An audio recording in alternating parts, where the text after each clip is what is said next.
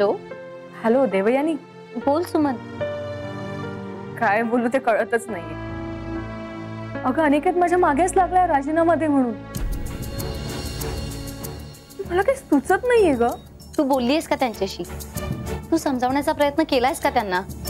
अगं किती वेळा समजवलं मी त्याला पण तो माझं काही ऐकून घ्यायला तयारच नाही. म्हणजे त्याला माझा जॉब करण्याबद्दल आक्षेप नाहीये. पण मी दफ्तरदार सरांच्या ऑफिसमध्ये जॉब करणं त्याला आवडत नाहीये. सरांबद्दल जी काही चुकीची माहिती त्यानं ऐकली आहे ना त्यामुळे तो असा वागतोय. प्लीज एकदा तू त्याला भेटशील का? तू समजावशील त्याला? म्हणजे तुझ्यासारख्या प्रतिष्ठित घराण्यातली सून आमच्या ऑफिसमध्ये जॉब करते त्याला कळलं तर मे बी त्याचं मतपरिवर्तन होऊ शकेल. ठीक आहे बघते मी. उद्या भेटल्यावर बोलूच. ओके थँक्स तू काळजी घे तुझी. या बाय. बाय.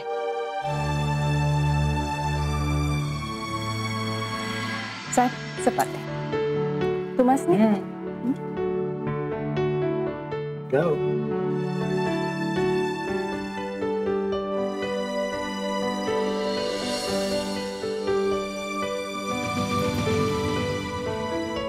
देवेनी अहो, काय झालं? काळजीत दिसतंय? नाही काही नाही। काय झालं सुनबाई? पहिल्या दिवशीच कामाचा भार वाढलेला दिसतोय तुमच्यावर हा? नाही हो मामनजी ती सुमन आहे ना तिच्या नवऱ्याने दफ्तरदार सरांविषयी काहीतरी ऐकलंय म्हणे.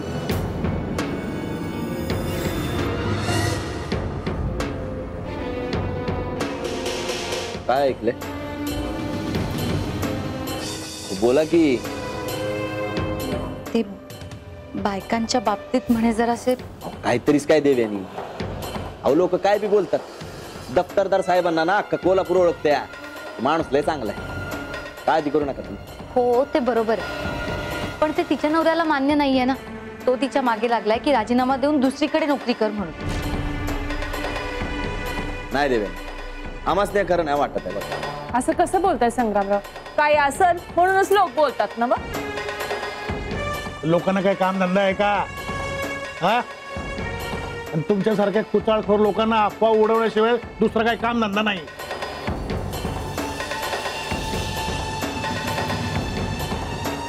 अहो लोकांनी शिंतोडे तर आमच्या चारित्र्यावर बी उडवले होते. तेव्हा मी तुम्ही असंच बोलणार वय उचलली जीवन लावली टाळ्याला. तुमचं म्हणणं पटतंय मला मामनजी. आणि हेच तिच्या नवऱ्याला समजवावं म्हणून ती माझ्या मागे लागली हम्म.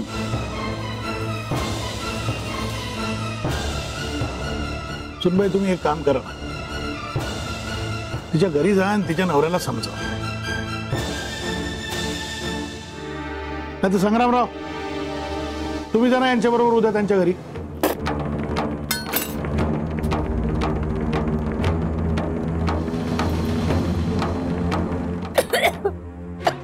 चौलीला तुम्हाला काय धाड भरली? नाही ठसका लागला. ठसका लागला होय? आणि तुम्हाला काय लागला? आ, नाही ते आ- आवाज़ आला ना एकदम मोठा तिच्या ठसक्याचा म्हणून दचकलो आणि पडला चमचा. म्हणून तुमचा चमचा पडला. हा मी काय म्हणत होतो? अं, संग्रामराव एक काम करा उद्या तुम्ही सुनबाई बरोबर त्यांच्या घरी जा. आणि त्याला समजवा. आणि तो जर नाही समजला तर त्याला इथं घेऊन या आमच्याकडे. आम्ही बघतो त्याचं काय करायचं.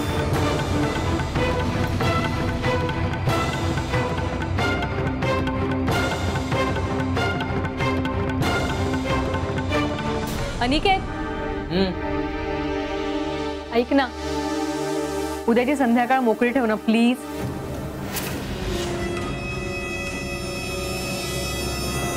का? अरे आई बाबा येणार आहेत. पुण्याहून आपल्याला भेटायला. ठीक आहे.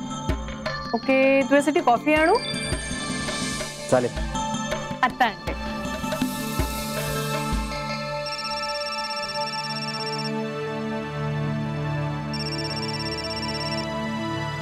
हा बोलाय हा अरे जय बाळा उद्या कुठल्याही परिस्थितीत संध्याकाळी सुमनच्या घरी थांबू नकोस. का? नाही अगं तिचे आई बाबा येणार आहेत. पुण्याहून आम्हाला भेटायला इथे. तिचे आई बाबा कोण आहेत ठाऊक आहे का तुला? देवयानी आणि संग्राम.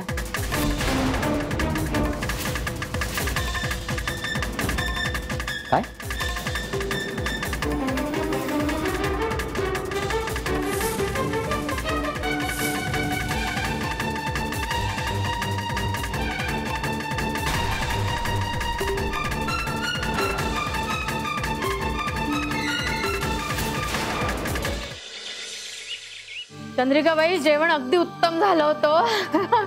ठसका नसता लागला तर अजून जेवणार होते मी दोन घास. मी काय म्हणते? आता जयचा बिझनेस सुरू झाला की आम्ही इथून निघावं म्हणतोय. नाही, काय आहे ना? मला आहे ब्लड प्रेशरचा त्रास. आणि तुमच्या घरात बाई सतत टेन्शनचं वातावरण. नाही सहन होतो हो मला. त्यात तुमची सून. कशी ती मला तर भीतीच वाटते तिची घुमी आहे का जराशी जराशी अहो पूर्ती म्हणा चौथाचा संसार गेला बोंबलत आणि सुमनच्या संसारात तोंड खोपसते मी आणि आता तर दाद्याला सुद्धा केस घेते म्या बरं असं होऊन देईन अजाबात नाही म्या तिला ठणकावून सांगणार आहे ज्या माणसाबद्दल लोक काय बाय बोलतात अशा माणसाकडे काम कराया आपल्यासनी भीक नाही लागली। अव तिच्यामुळे आपल्या घराण्याचं नाव खराब व्हायचं आणि हे म्या अजिबात खपून घ्यायची नाही.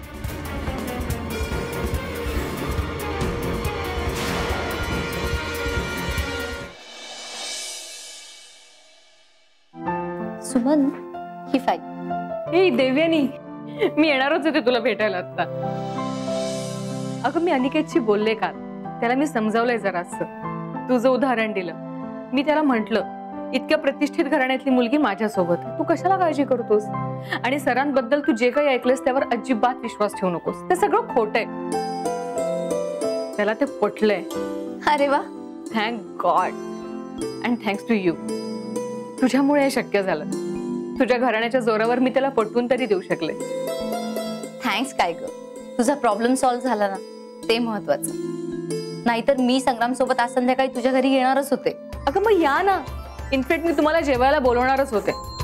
पण नेमकं तुमची आणि अनिकेतची भेट नाही होऊ शकणार. का? अगं त्याला ऑस्ट्रेलियाहून फोन आला होता. त्याचा कोर्स चालू असताना तो आणि त्याचे मित्र एक छोटासा बिझनेस करतायत. त्याचंच काहीतरी अर्जंट काम निघालं. त्यामुळे कालच मुंबईला निघाला. आज मेलबर्नला जाईल. मेलबर्न? अगं मेलबर्न वरनं आठवलं. माझ्या नंदेचा नवरा आहे ना तोही मेलबर्नला चाललाय. बिझनेस मॅनेजमेंटच्या कोर्ससाठी आठवडाभरात निघेल तो. कुठली युनिव्हर्सिटी म्हणालीस? कुठली बरं? विक्टर युनिव्हर्सिटी बहुतेक. अगं काय सांगतेस? अनिकेत पण त्याच युनिव्हर्सिटीमध्ये हो. पण त्याची टर्म तर सुरू झाली. ह्याला मध्येच कसं काय ऍडमिशन मिळाली? एनिवे मी तुला तिकडचा अनिकेतचा पत्ता आणि फोन नंबर देते. तुझ्या नंडेच्या नवऱ्याला दे. कधी मदत लागली तर कॉन्टॅक्ट करता येईल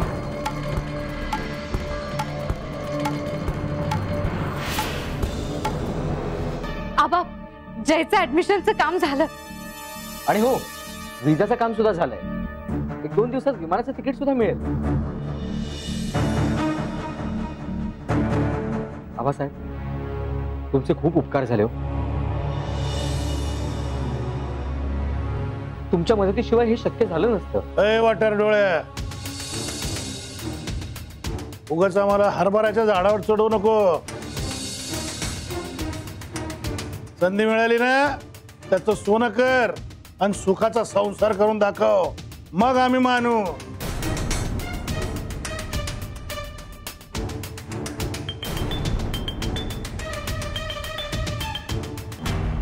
जय?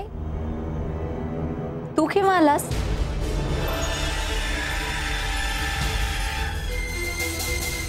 हा काय? आत्ता पाच मिनिटापूर्वीच आलो.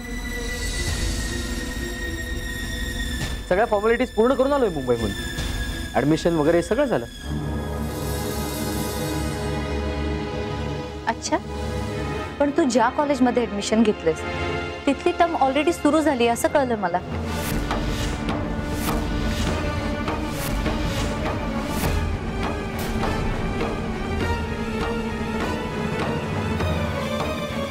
मामनजी, सुमनचे मिस्टर ही मेलबर्नलाच असतात. त्याच कॉलेजमध्ये शिकतायत ते. तिनेच सांगितलं मला.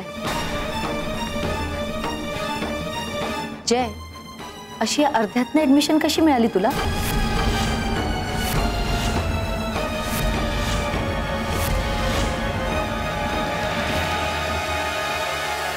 सुनबाई झालं का तुमचं सुरू? जयदीपराव तुमच्यापेक्षा जास्त शिकणार म्हटल्यावर लागलं का तुमच्या पोटात दुखायला हा? तसं नाही सासूबाई. अहो जयने या सगळ्या गोष्टी मुंबईतल्या कोणत्या तरी एजंट मार्फत केल्यात. असं त्यानेच सांगितलंय मला.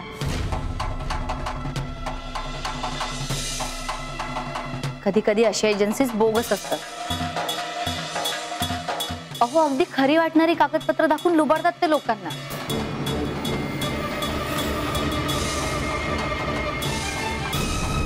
अगदी बरोबर आहे. देवानीबाई तुम्ही म्हणता ते अगदी बरोबर आहे. आणि ह्यो आपला वाटर डोळा काही कमी नाही. तुम्ही एक काम करा. त्या सुमनबाईंना फ़ोन करा.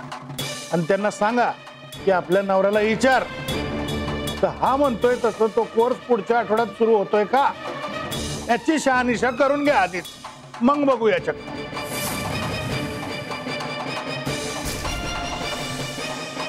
ठीक आहे मामांजी. मी लगेच बोलते तिच्याशी.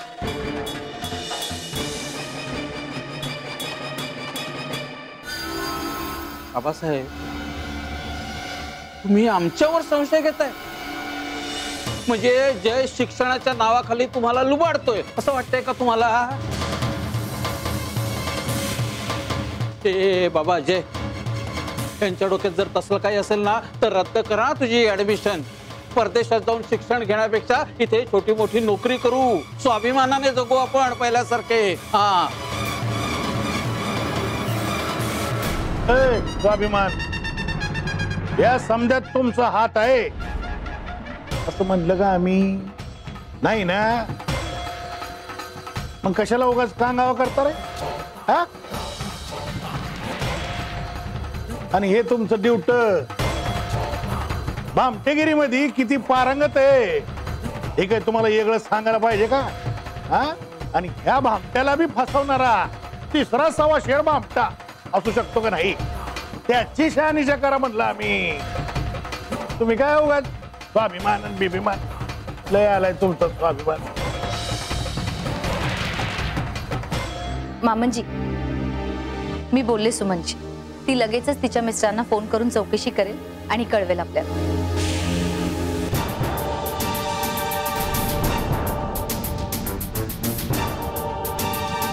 बरं अं, लावण्या मी जरा बॅग आतमध्ये ठेवून येतो हाँ। जरा फ्रेश येतो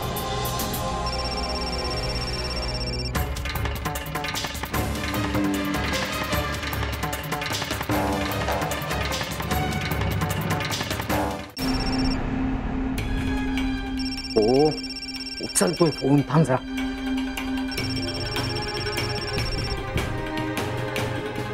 हा सुमन बोल। काय? अच्छा त्याची चौकशी फ़ोन केलास का नाही नाही होते ना ऍडमिशन अशी नाही कसं आहे आमच्या इथे दोन टर्म्स असतात हो बरं ठीक आहे हाँ हाँ थँक्यू मामनजी सुमनच्या मिस्टरांनी चौकशी केली आहे मते त्या कॉलेजमध्ये टर्म दोनदा सुरू होते म्हणजे ज्याला नव्या टर्ममध्ये ऍडमिशन मिळालेली असणं शक्य आहे.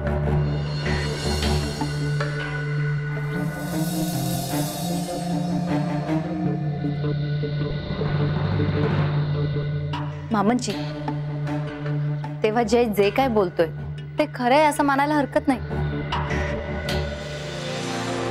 काय झालं? काय होणार? केली सुमन कधी चौकशी. पटलं त्यांना. तू खरं बोलतोयस ते.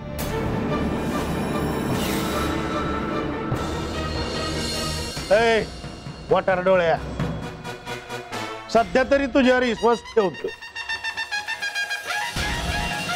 हे समजा जर का खरं असेल, तर मग काही प्रश्नच नाही. काय दिनकरराव? जर का दिनकरराव तुमचा पोरगा बामटा निघाला तर आम्ही विखे पाटलांच्यात भामटेगिरी करणाऱ्याला असं पाया खाली ठेचतात. तेव्हा भामटेगिरी करू नका. हा? नाहीतर?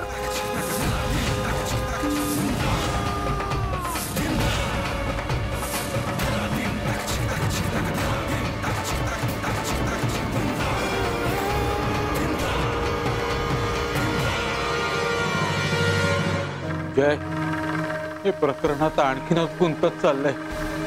मला तर आता खरोखरच भीती वाटायला लागली बाबा, तुम्ही प्लीज़ पॅनिक नका हो ते बघा तशी थोडीफार व्यवस्था करून ठेवलेली आहे मी. बाबासाहेबांनी दिलेले दहा लाख आहेत माझ्या ताब्यात. आणि त्यातूनच मी लातूरला एक घर भाड्याने घेतलंय. तुम्ही एक काम करा. उद्या सकाळीच कोकणात कोर्टाच्या केसला जावं लागते असं सांगा आणि इथून सटका. मी सुद्धा मेलबर्नचं निमित्त काढून तुमच्या मागोमाग पळ काढतो. आणि मी सुद्धा लावण्य आणि चंद्रिकेशी गोड गोड बोलून जमेल तितकं सोनं पदरात पाडून घेते. हा ते नाही केलेस तरी चालेल काही सध्या तरी या परिस्थितीतून सुखरूप सुटणं हेच सगळ्यात जास्त महत्वाचं आहे आपल्यासाठी. नंतरचं नंतर बघता येईल काय. म्हणतात ना सर सलामत तो पगडी पचास.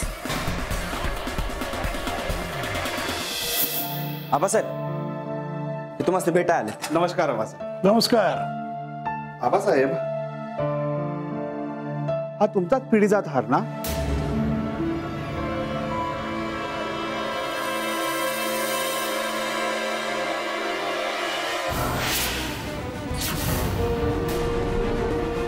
आमचाच हार आहे. तुमच्याकडे कसं आलं? अहो काल एक बाई माझ्याकडे हार विकायला आलेली. काय?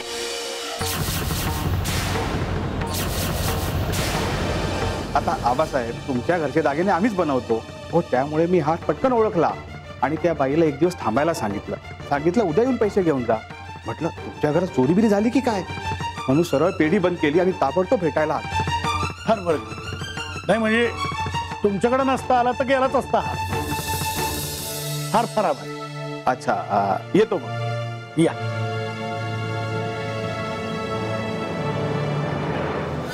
सम्राटराव? बरं झालं तुम्ही आले हा हार ओळखीचा वाटतो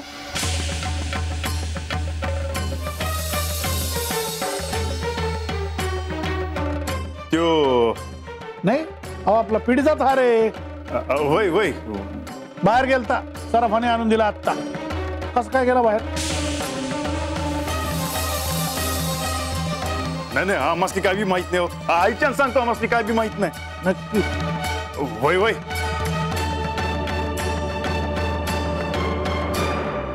चंद्रिकाबाई लावण्य। आलं आलं। काय झालं साहेब? हा ओळखीचा हार आहे का?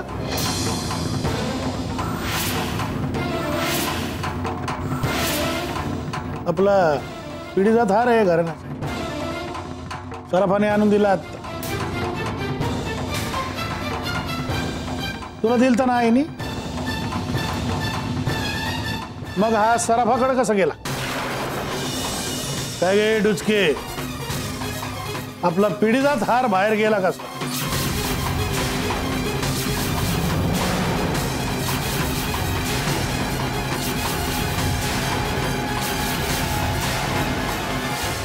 काय विचारतोय मी? हार बाहेर गेला कसा? आबा ते मी गेम तो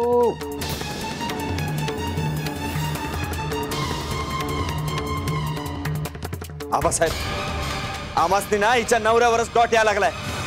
त्यालाच बाहेर बोलूया आपण. बोलव त्याला.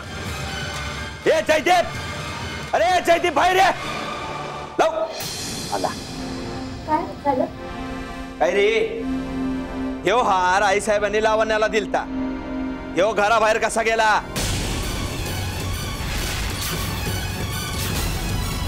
हा हार नाही मला काहीच माहित नाही हो. हा हारच पहिल्यांदा बघतोय मी.